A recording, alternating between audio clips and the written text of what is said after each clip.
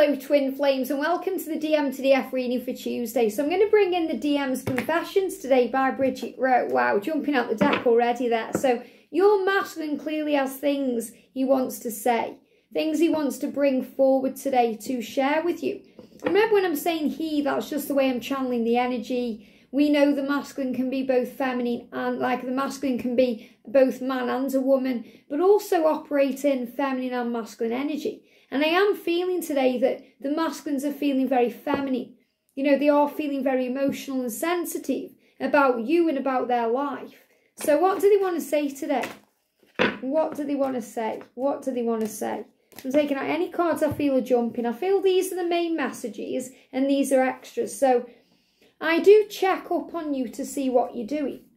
Okay, I do check up on you. Now, I feel someone definitely needs to hear that because maybe you think you're going mad and you're thinking, I'm sure he's been checking up on my social media. I'm sure he's been asking my friends about me. I'm sure he's been, you know, trying to work out what I'm up to. Is that the truth? Or am I going mad? You're not going mad, divine feminine. He's saying, yes, I do check up on you to see what you're doing. I do keep an eye on what's going on in your world. I am afraid to open up though. So he's still saying I'm still dealing with, you know, this ability that I need to have to open up. I'm still healing wounds around it. So I'm afraid to open up because I know it will be the end of my ability to keep these walls up, to wear this mask. I'm just protecting my heart. It really isn't you, it's me. So give him time to take off that mask because it is coming off. You know, give him time to open up because he is opening up. Give him time because he is changing and evolving and transforming. And he's saying, You're better off without me for now. So for now, you may be better off without him. Why? Because he's still learning to open up. He's still, you know, seeing what you're up to and if it's safe to move forward. And whenever there's a delay or a block or an obstacle, this is because you are being protected. Now, remember the message from yesterday. The masculine sent you a rainbow. And he said, That's a sign that our journey is protected. That's a sign that sometimes the universe is protecting you from me. That's a sign sometimes that I'm protecting you from my energy because I feel angry and frustrated and in pain, and I don't want to inflict that on you. So never see it as a negative if you aren't together in the moment, because in that moment, it may be the best thing for you. And I read every word you've written to me more than once. So if you think he just deletes your messages without reading them, or he doesn't pay attention to what you've wrote or said, think again. Because he's saying, I read every word. I read every word you've written me, whether it's in a letter, a text message, an email, something on social media, in a post. I read it more than once. So he's showing you he's still got that information, whether it's in the filing cabinet in his head or in his phone archive. You know, he's saying, I'm rereading your messages and I'm sorry I risked losing your love.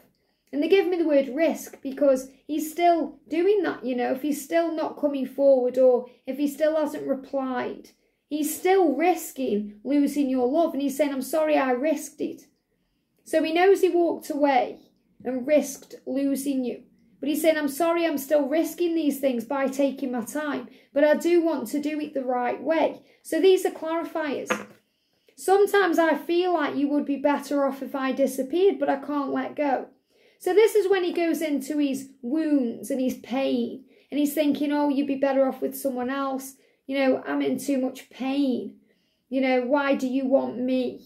What do you see in me? What can I possibly give to you? So that's when he's in his victim mentality. But that's what he's working through.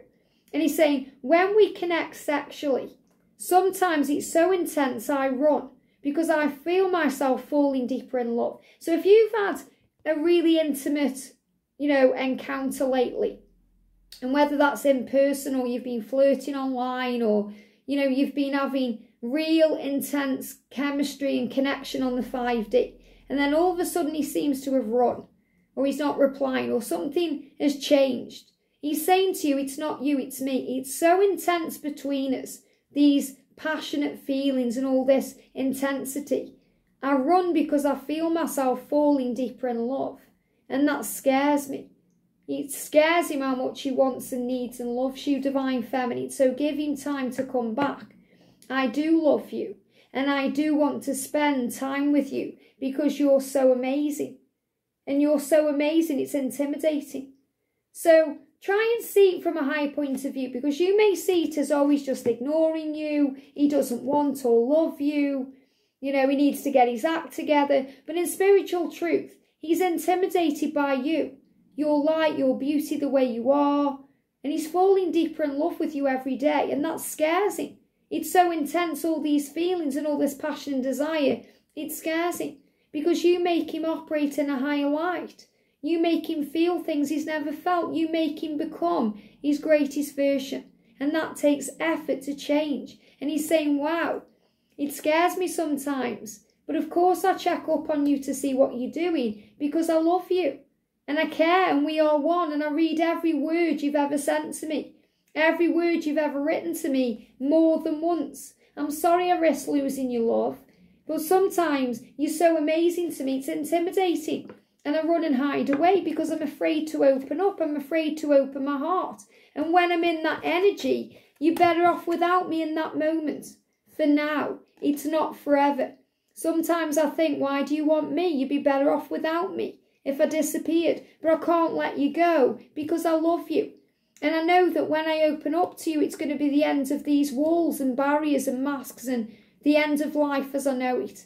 So if I seem to be protecting my heart, it's my issues. I need to heal things within so I can break free from the karmic partner, stand up for what I believe in, and be with you. And that's why when we connect in a sexual way or even in a, you know, sensual way, it just gets a bit much sometimes because your light soothes me and I need you. But until I'm ready to give you everything fully without hurting you again, which ultimately hurts me, I have to stay away.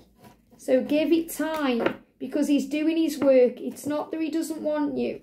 It's the fact that he wants you too much sometimes and he has to deal with the intensity of that feeling and the love. I hope this helps. Have a great day and I'll see you soon.